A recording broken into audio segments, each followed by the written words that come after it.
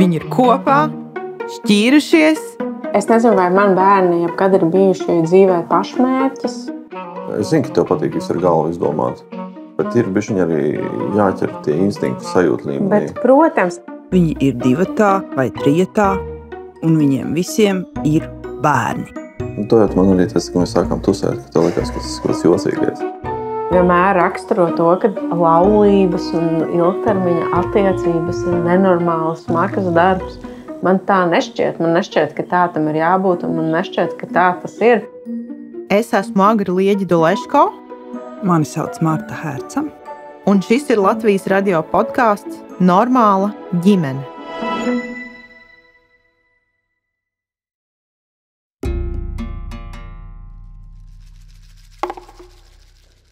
Šīs sarunas nosaukums ir Bērni enerģijas vampīri.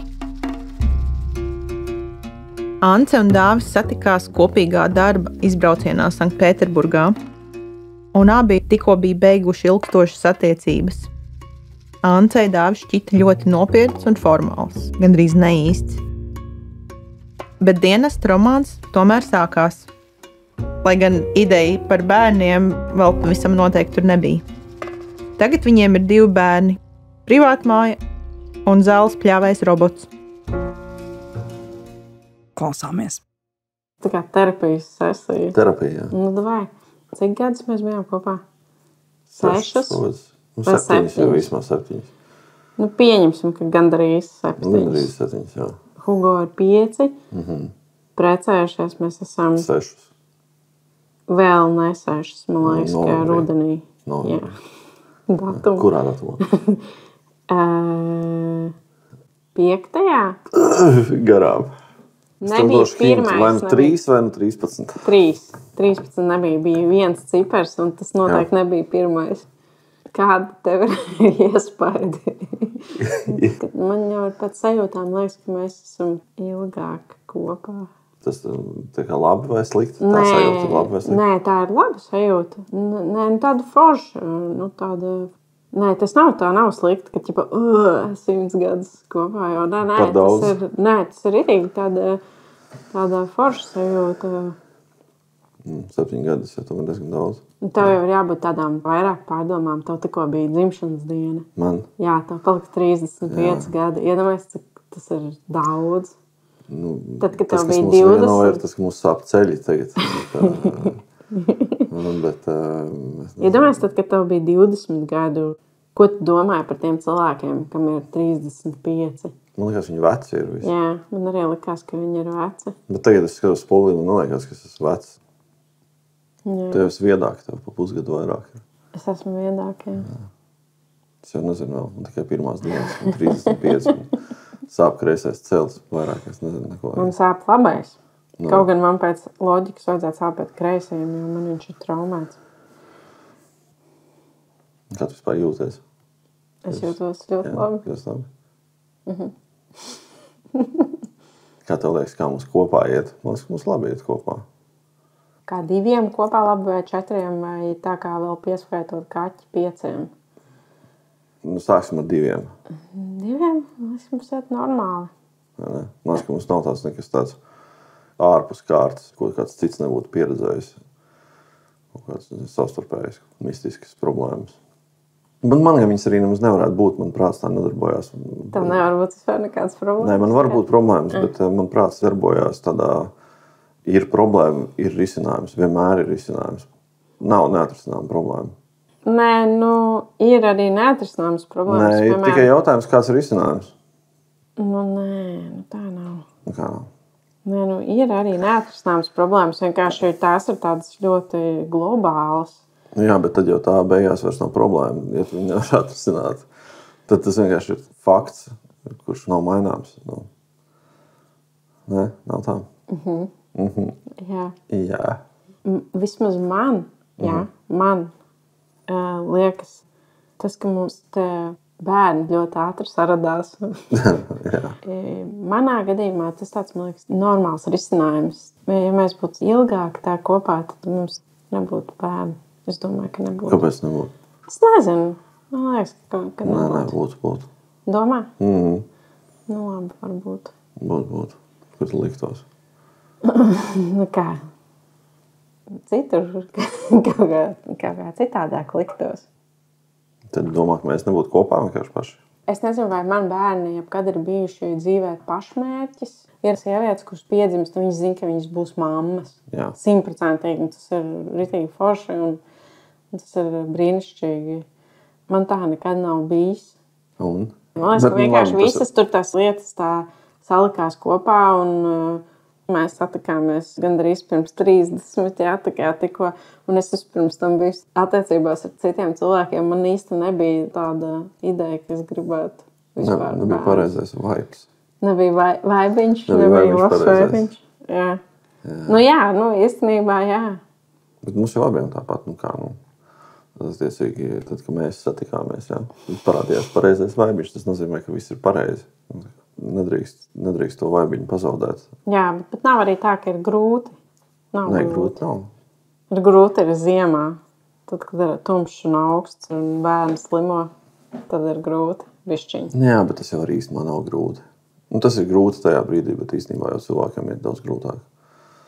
Protams, vienmēr kādam būs grūtāk nekā tev, bet Jā, mums jau arī ir ā, tādā ziņā forši, ka tie mūsu vecāki vēl ir pie tādas labas veselības un aktīvi. Un, ja kaut kas ar mums notiek, tad vismaz ir kaut kāds backups. Var jau likties, ka nekad nekas nevar notikt, bet м, kaut kas var notikt. Mm -hmm. tagad man ir jāsatraucās rītīgi. Nē, tā, tā nav. Un atkal būs jādomā, Tev ne- Nē, tu jau jāsatraucās. satraucies tāpat visu laiku, visu kaut ko. Es domāju, ka tev nav jāstraucās. Es domāju, ka labi. jāsatraucās. Nu, labi. Varbūt mums vajag trešo bērnu. Grūti. Nē, nu, Ja tā man pavisam ir godīgi, bail, man, Man ir bail par tevi īstenībā. Nu, jā, man arī bail Nu, no par mani. Nu, labi, zin, kā ir uzsācis tādas domas par to, ka uh, statistiski uz vecumu palielinās pēc 35, tur palielinās arī visādi citi ģenētiskie riski. Nu, ne jau tāpēc, ka tas tur ir slikti vai, vai kaut kas, bet vienkārši tie ir statistiski tādi fakti, tos ir arī stulbi ignorēt. Bet, ja man ir bijuši divi akūti ķēzergriezieni ar diviem bērniem, tad visādi riski palielinās. Tas ir tā bailīgi, bešķiņi. Skaidrs, ka tas ir bailīgi. Bailīgi jau ir sēdēt tajā palātā vienkārši vienam pašam. Nekas baigi jautrs tas nav. Plus mūsējā vecmāte, man liekas, ir aizgājusi pensijā. tā kā Domā, tā ir zīme. varbūt- Jā, Nevajag. Ja tā bija zīme, tad, kad Anna piedzima, viņa bija tikko atnākusi atpakaļ no atvaļinājuma. Viņai Jā. bija tieši tajā vakarā mājiņa. Anna piedzima ātrāk. Nekā viņai vajadzēja, jo mums bija viss saskaņots ar vecmātes atvaļinājumu grafiku. Tas lielais tīņas tagad ir tādā tīņa vecumā. Jā, Nu, piecgadnieks, es domāju. Šajā tīņas šobrīd. vakardien ar draugu runāju, kurai ir lielāka bērna. Jā. Viņa teica, ka vispār sīkajiem tagad ir eh, visi tie attīstības posmi, ir stipri ātrāk nekā mums bija. Tad viņš principā reāli ir tīņas arī. Nu, viņš nav tīrs, bet nu, ir arī tie sadalītie tie attīstības posmi, kas ir pirms skola, tā kā reāli pirms skolas, kas drīz jau viņam būs. Tur sākās patstāvības, un Zobfēja drīz nāks arī. Zobafēja drīz nāks, un ir kaut kādas dusmas, un gribās kaut ko citu, un ir nogurums, bet tu pats neatpazīsti no, nogurumu, tad tu esi liels, un tu kaut ko dusmojies, bet tu īstenībā gribi, lai tev samīļo, bet tu negribi, lai tev samīļo. Nu, tur tā baigi tā sarežģīta tās emocijas visas. Bet viņš mums ir liels cilvēks, viņš pats bija uzaicinājis ciemiņus uz ballīti. Jā, Norganizējis. adekvāti. Jā. Jā, no rīta jau sāk parādīties dārziņā arī tas, ka tur tās publiskās bučošanās, viņas tur tādas. Jā, es arī ievēroju tas- to, ka viņš, tad, kad viņš iet pārģērbties, nu, mūsu klātbūtnē viņam ir vienalga, viņš var pārģērbties, bet nu, viņš nav kā mazā māsa, kad tu vari vienkārši novilkt ā, kleitu ballītes vidū un zāles vidū. Un, Palaist koncertā vienkārši pliku, lai Jā, un aiziet pačurāt. Un vienalga darīt visu, ko tagad ir jāaiziet iekšā, pašam pārģērbties savā istabā. Neviens nedrīkst mm. nākt. Kaut ko tu tur tā pa klusiņam pasauc, ja vajag kaut ko. Bet, jā, to es arī tagad piefiksēju, ka tāds ir. Bet, nu, forši jau, nu, cilvēks pats savs robežas filtrē. Mm. Tas jau nav slikti. Cilvēkiem pieklājās kaut kādām attīstības fāzēm. Pieklājības attīstības. Pieklājās. Nu, tā kā Ah, nē, nē, kaut kādām at- attīstības fāzēm. Es domāju, ka visi jautrība vēl priekšā. Es domāju, ka būs bišķiņ grūti. Bet nu neko, nu.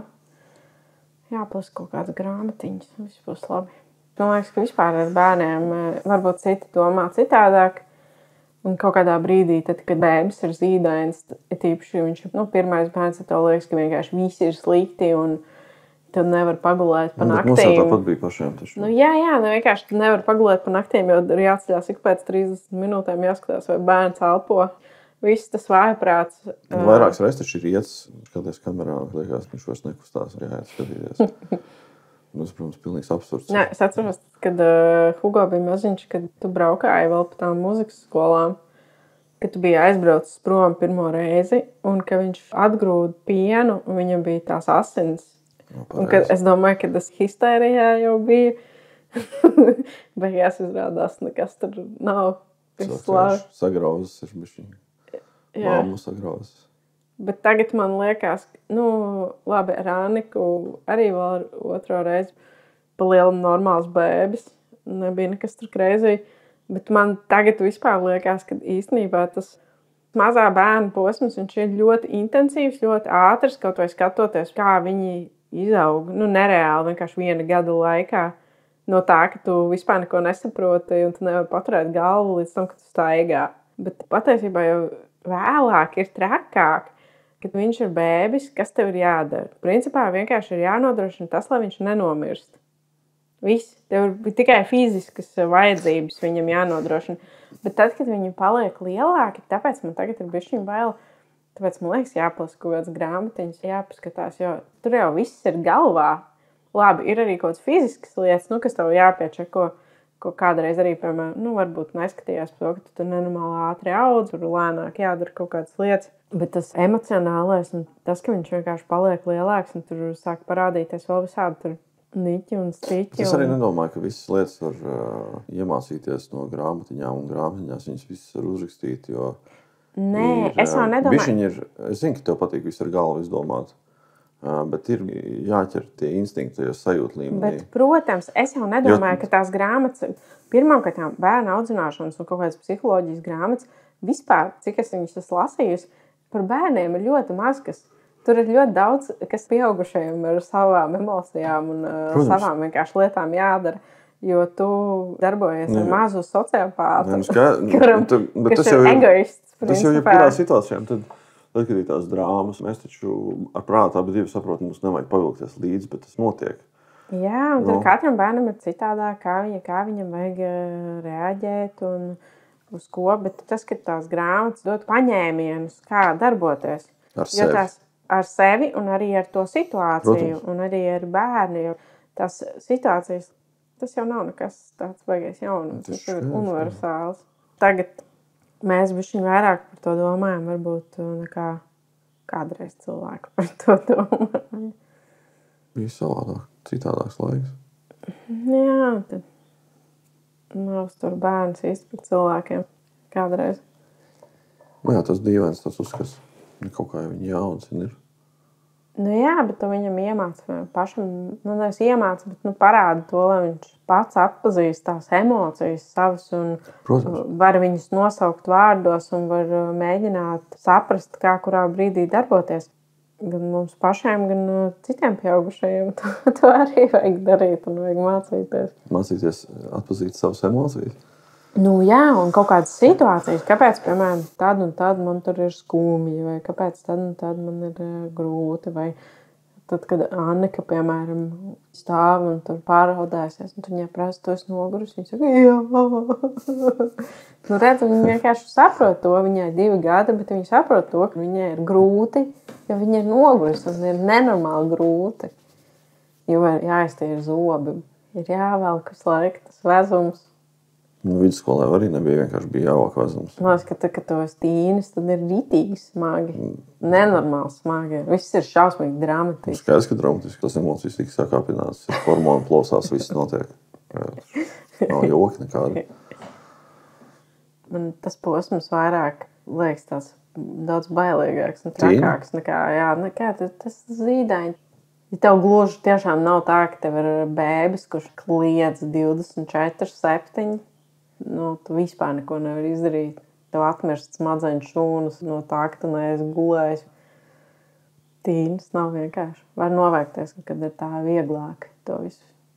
Man, ne, man liekas, ka man nebija tur nekas smags pašam. Tas nebija. Gan jau, ka kaut kādā brīdī es biju viegli, bet Es biju nopietns. Tad. Nu, es jau visu laiku esmu laiku nopietns. Jā, es Jā. vispār neesmu nopietns. tas ļoti. Nē, nu es esmu, bet es neesmu arī tāpat laikā. Tāpēc, ka tas ir smieklīgs. Tev reizēm ir tavs publiskais tēls. Sabiedrībā ir jā, daudz Nopietns. citādāks nekā kāds tas īstenībā. Jā, Jā. nu, to jau man arī teici, ka mēs sākām tusēt, ka tev likās, ka tas ir kaut kas jocīgais. Nē, ne jau jocīgais. Vienkārši es nekad mūžā, ja tu man pateiktu, ja pirms gandrīz septiņiem teiksim, gadiem, kā man tā dzīve būtu izvērtusies, un kad es būtu apprecējusies ar tevi un mums būtu bērni kopā, tad man liktos, ka tas ir vissmieklīgākais joks vispār, kāds iespējams. Rekā. Nu, jā. Man tas liekas, tas ļoti pozitīvā ziņā, ļoti atbildīgs. Mm -hmm. Uz to vienmēr varēja paļauties. Vienmēr... Vairs nevar? Nē, arī tagad, nu, joprojām. Es jau nerunāju, kā, ka tas būtu mainījies. Vienmēr viss ir mm. laikā, viss, viss ir kārtībā. Bet tāpat laikā, jā, man liekas, ka tu esi tāds ļoti nopulēts, sakopies un Tas tāds tas savāds. esi sakopies Nē, tas nav savācies. slikti. Vienkārši tāds klasisks, tāds mētelīts vienmēr. Un kaut kādā ziņā man komunikācijā likās, ka tu esi tāds neīsts, uzspēlē mm kādu sarunu. Nu, tāds viss un tāds. Nē, ne sarkasmu. Vienkārši tev liekas, ka tavs publiskais tēls ļoti svarīgs. Nu, tā man liekas? tā. Jā, un man tas likās ļoti smieklīgi. Tāpēc es nebūtu nekad to iedomājies. Nu, rekā sanāca. Bet jā, kā sanāca. Ironiski. Ironiski. Izrādās, ka mēs, protams, sarunāties joprojām divi tādi. Jā, vajag runāt vairāk savā starpā. Tas ir ļoti grūti izdarāms, ja ir mazi bērni un mēs esam vieni paši, kur visu laiku viņus vāc, un mēs par to jau visu laiku runājam. Mums ik pa laikam uznāk ā, krīzes šajā sakarā. Nu, jā, bet tas jau laikam diezgan dabīgi un normāli, ka tas tā ir. Nu, ņemot vērā arī to darbu apjomu, cik daudz es strādāju. Un, un tu strādā, un viss notiek. Un ir omes tur un omes šitien, un tādas darbības visu laiku, mēģinājumi, grafika izmaiņas. Nu, Tas viss tas ļoti saraustīts. Līdz ar to arī kaut kādas ieplānotās lietas vienkārši nenotiek reizēm. Jā, bet to nevajag vienkārši palaist tādā pašplūsmā. es pilnīgi piekrītu. Tas ir tas, Pilnīgi par ko piekrītu. mēs runājām arī jau, jau Pilnīgi iepriekš. Mēs nonācām pie secinājuma, ja mēs kaut ko sarunājam, piemēram, par to pašu, ka mēs pavadām laiku vairāk kopā, Jā. tad tas ir ļoti forši, kad es redzu šīs sarunas rezultātu, un tas tiešām tā kā notiek. Jā. Ja tu esi kopā ar kādu cilvēku, tad tam nav jābūt vienmēr raksturo to, ka laulības un ilgtermiņa attiecības ir nenormāls, smags darbs. Man tā nešķiet. Man nešķiet, ka tā tam ir jābūt, un man nešķiet, ka tā tas ir. Tas ir darbiņš tādā ziņā, ka vajag paplānot bišķiņu. Nu, ir kaut kādas atbildības, ir darbs, ir atbildība pret bērniem, ir atbildība pret vecākiem. Visiem ir kaut kādas lietiņas jāizdara, un jo vairāk tev tās atbildības ir, jo mazāk pietiek laiks būt spontānam. Tu nevari tur, "Ej, es tur šovakar šito, šito, šito, vienkārši tas vairāk jāplāno. Bet, ja viens cilvēks to visu plāno, tad tas ir tā baigi grūti, ka tev tas vienam pašam ir jādara visu laiku. Piekrītu. Bet, ja abi iesaistās un to darbojās, un, piekrītu. Es sarunā, reizē no tās plānošanas sagurstu, tāpēc, ka es laiku man ļoti patīk plānoju. plānot. Bet tā ir vieglāk. Ja tu plāno to savu nedēļu un ikdienu vispār, man šķiet, tā ir vieglāk dzīvot. Skaidrs, ka vieglāk. Tad, ja tu mazāk plāno, tad ir lielāks stress. Mm. Man liekas, ka brīvie brīži ir kļuvuši vairāk kopš uh, zāle pļauja robots. Jā, Vai ne? nu, jā tu Reāli to mēs varam ieteikt vis, visām ģimenēm. Vienkārši pērciet zāles pļauja robotu. It kā liekas, ka tas ir tur stundu nedēļā vai divas. Bet, ja nu tā ir vienīgā stunda vai divas nedēļā, nu, ar tām draudzenēm, kurām ir bērni, mēs parasti smejamies par to, ka mums nebija bērni. Tad mēs domājam, kā tas vispār var būt, kā cilvēki ar maziem bērniem var izšķirties. Nu, kā tas kā vispār ir iespējams? Un tad tev piedzimst bērni, un pat ja tev ir viss ritīgi forši, tad tev tā, ah, man ir skaidrs, ka, kā cilvēki var izšķirties. Pilnībā viss ir skaidrs, kāpēc tāds notiek. Nu, jā. Nu, labi, bērni ir kā pastiprinošs faktors, protams, nu, kas vienkārši tev paņem vēl vairāk enerģiju un sakāpinātās emocijas un nogurumu.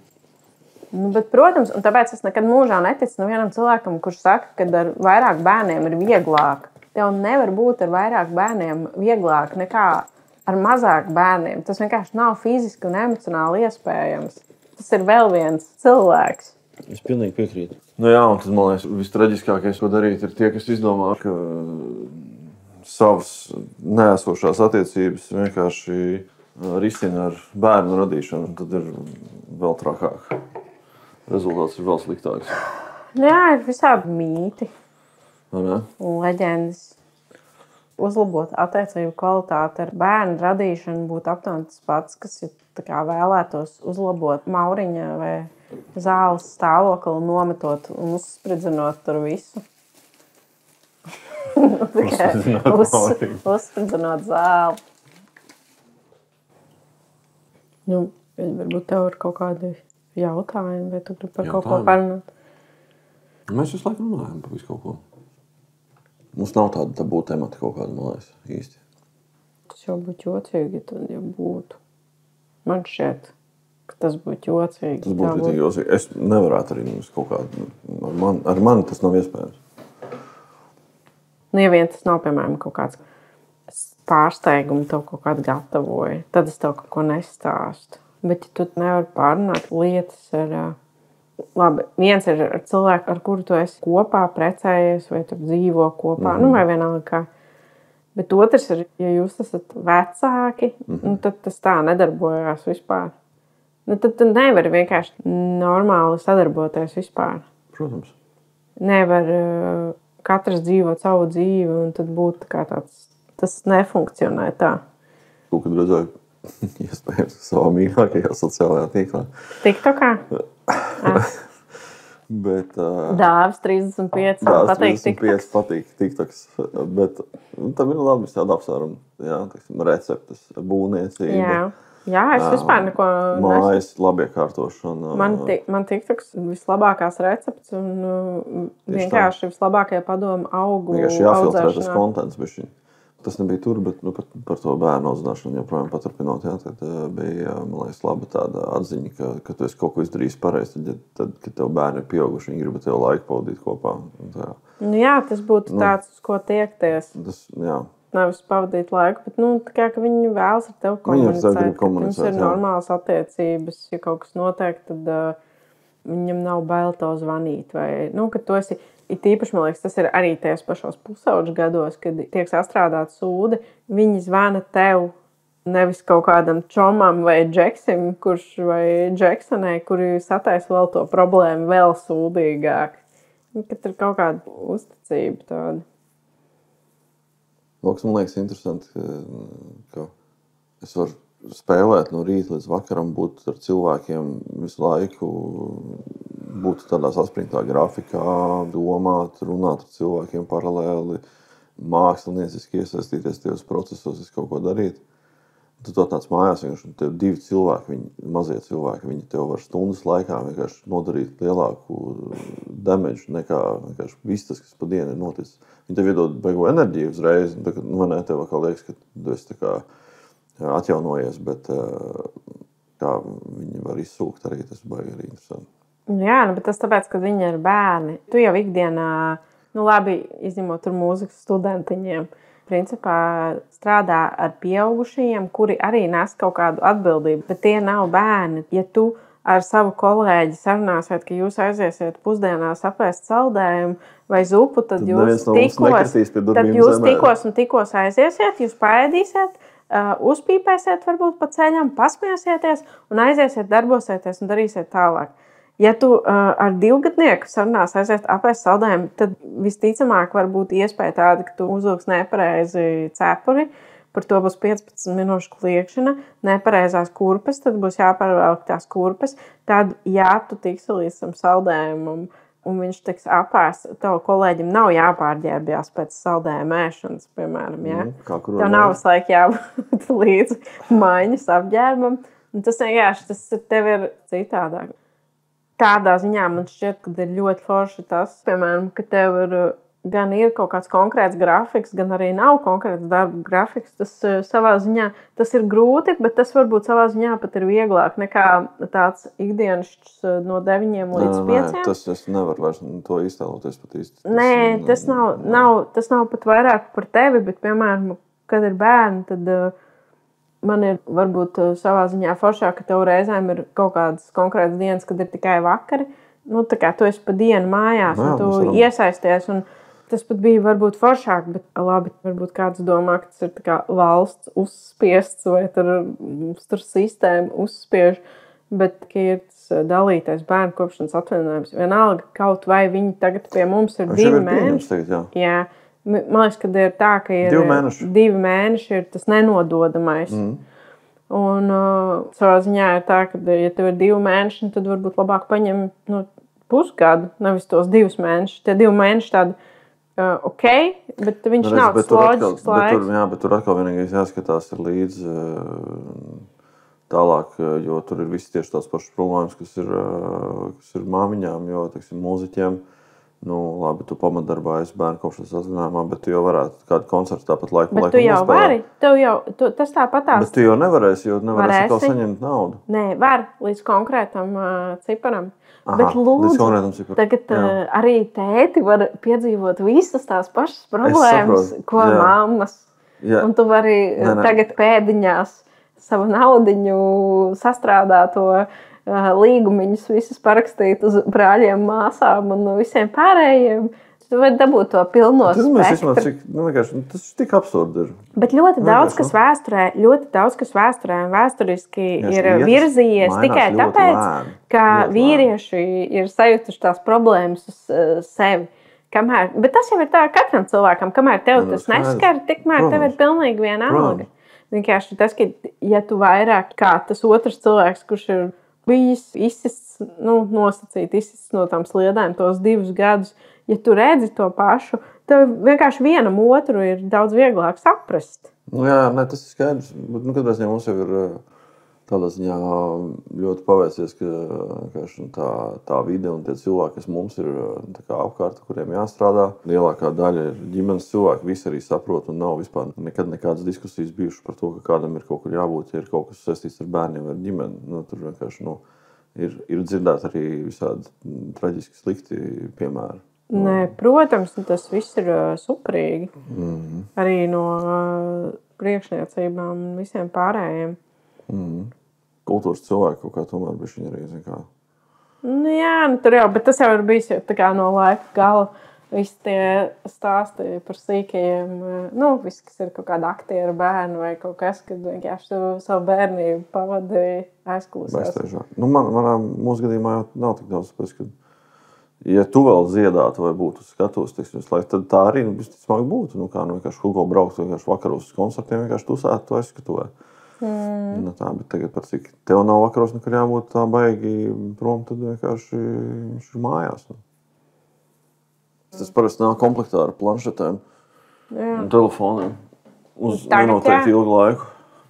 Nē, ir kaut kādas ir visas tās tehnoloģijas. Viņas ir, ir arī palīgi un attēlpa kaut kādā brīdī. Skaidrs, ka viņas ir Bet palīgi. tur vajag arī viņas gan pašiem vecākiem, vajag domāt ar galvu, kad viņas izmanto un sekot līdzi. Vispār tam mēs varētu būt bišķiņ arī vairāk pašu uzmanību pievērst kaut kādos Jā, brīžos. protams. Jo lielāk viņi paliek, jo ar vairāk visādiem cilvēkiem viņi saskarās. Tas lauks paliek tāds lielāks. un Es saku, jā, man net vairāk tas biedē nekā tas bērnu laiks un citi tur tie izaicinājumi un grūtības. Ja man Hugo nebūtu, bijis, nebūtu piedzimis, es domāju, ka man būtu jābrauc uz kaut kādu dienas stacionāru, neiroloģisko atpūsties. Tādā ziņā tas bija ļoti forši. Kādā ziņā? Nu, tas, ka nu, vienkārši es domāju, ka tas būtu pārstrādājis jēgu. Nu, tu jau biji ar tādu pelēku kādu pagrabā. Es atceros, ka Tas bija ļoti forši, kad es dabūju paņemt pauzīti no visiem kaut kādiem darbiem. Kaut vai ar bēbu, bet tu vari koncentrēties tikai uz to vienu lietu. Nu, principā tā kā koncentrēties tikai tam vienam mazam ruksim. Un tad otrajā reizē jau tā, jau saprotu, ka nav jāsēž uz laiku, jāskatās viņam. Ja viņš guļ 4 stundas, nav jāsēž, jā, jāskatās 4 stundas viņam virsū, vai viņš elpo.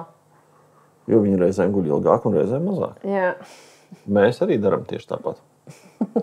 Rekā mēs tomēr par un ap bērniem diezgan daudz runājam. Tā ir tāda ikdiena, tev jau ir jāpārunā kaut kāds notikums. Ir, mēs jau tāpat katru vakaru pārunājam to. Un, izrunājam, kas nākamajā dienā jādara un kas tālāk jādara un ko mēs darīsim. Un kur Hugo ies skolā. Visiem kaut ko vajag. Visiem vajag visu laiku. Īpaši kaķiem sašos no rīta. Viņš ēd par daudz. Es joprojām domāju, ka viņš ēd par daudz. Totāli.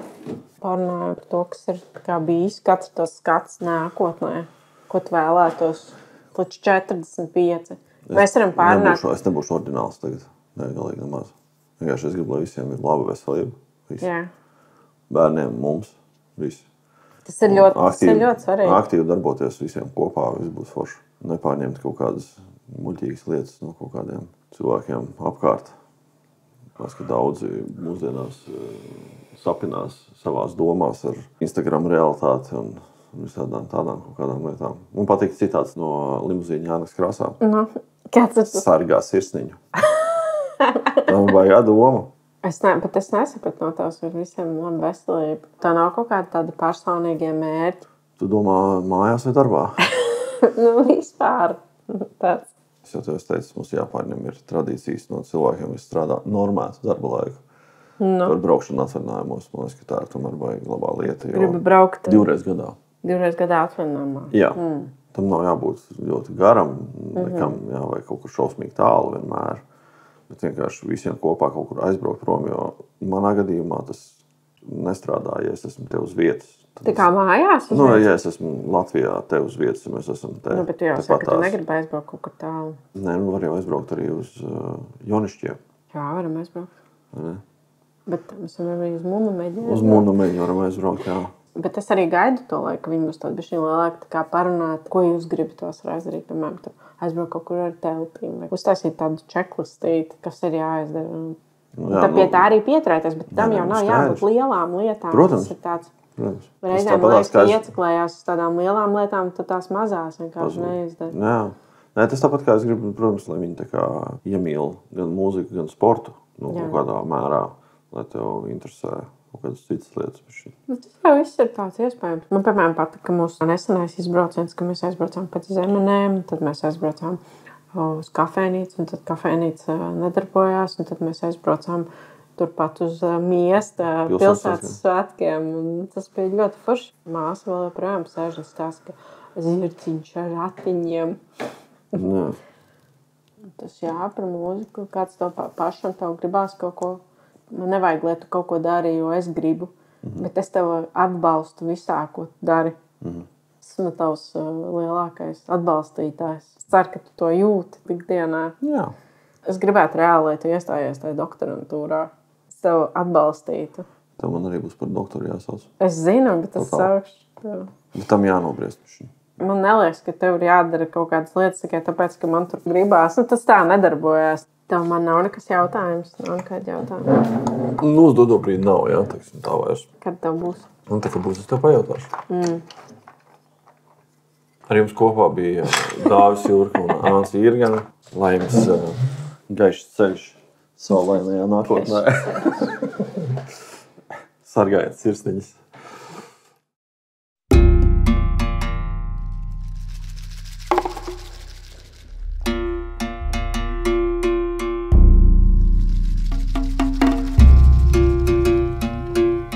man ļoti pazīstamas ir šīs situācijas, kur bērnu emociju izvirdums tev baterijas var nosēdināt pāris minūšu laikā. Tas, ko Dārzs teica, ka viņš var visu dienu nostrādāt 8, 10 stundas, un tad atnākt mājās, un tad pāris minūšu laikā vienkārši izdedzina enerģiju bērnu klātbūtne. Un, jā, tas ir tas, kam es šobrīd eju cauri, kam mēs abi ar vīru šobrīd ejam cauri ar divu ar pusgadus vecu bērnu.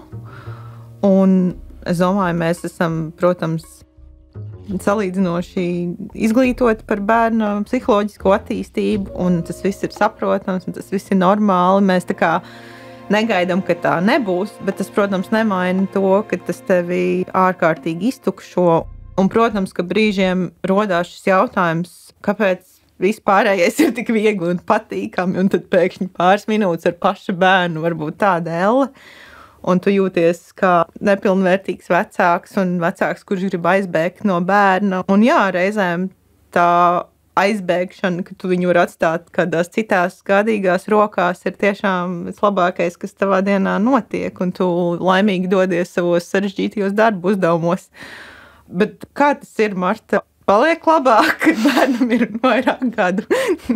es diezgan miglaini atceros to posmu, kad bērni vēl bija dārziņā. Es viņiem braucu pakaļ, viņi iekāpa mašīnā un ir breakdowns uzreiz. Viņi raud, viņi kliedz, viņi savā starpā cīnās par uzmanību. Mūsu mehānisms bija tāds, ka mēs intensīvi domājām, kur braukt ciemos. Tad, kad mēs aizbraucam ciemos, tur ir parasti vēl citi bērni, un tad kaut kā viņi savā starpā novada to zibeni. Tas bija veids, kā mēs tikām ar to galā. Ants ir ļoti noraizējusies par to, kā tas būs, kad bērni būs lielāki.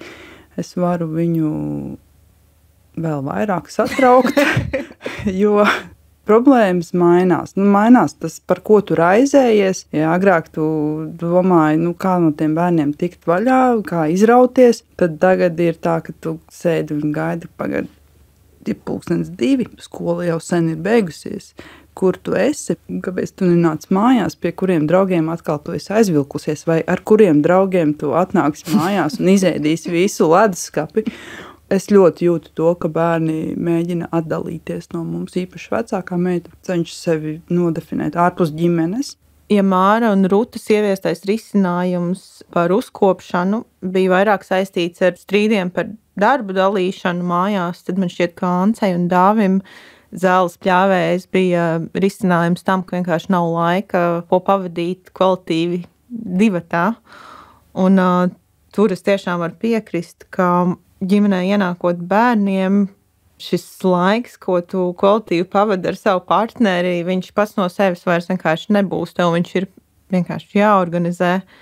Es atceros garos romantiskos vakarus, kas varēja būt principā jebkurš vakars pirms bērna piedzimšanas, kad mēs vai nu laiskojamies uz dīvānu, lasot grāmatas, vai ejam sveču gaismā vannā ar vīnu un uh, varam tur pavadīt uh, vairākas stundas runājot. Tagad nekas tāds neplānot nenotiek. Ja gribās forši pavadīt kopā laiku, tas tiešām ir aktīvi jāorganizē, jo pretējā gadījumā ir vienkārši tavi praktiskie darbi, tavs darbs, ēdienu gatavošana, rūpes par bērnu, bērnu nolikšana gulēt, un tad jau ir vēls, un tad tu gribi gulēt, un varbūt vienīgi palas vēl grāmatu. Tā kā jā, mūsu vienošanās ar auklīti ir, ka viņi vismaz vienreiz mēnesī paliek arī pie mums vakarā, un mēs varam kaut kur aiziet.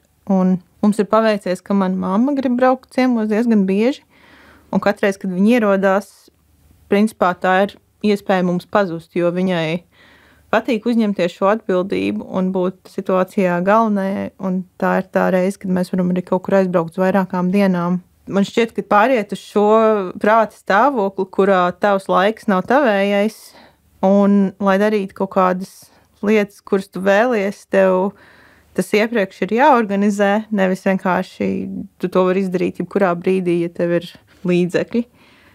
Tas tā vairs nestrādā. Un ne jau ka mēs gribētu iet šausmīgi bieži, bet man šķiet, ka ļoti grūti mentāli tam pielāgoties. Vismaz man tā bija.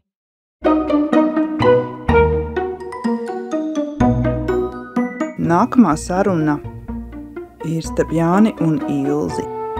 Mēs abas esam vienojušās, ka šī saruna ļoti atšķiras. Te tiešām ir sajūta, ka tu nelegāli klausies kaut ko tādu ļoti intīmu un pušķukstus. Klausāmies!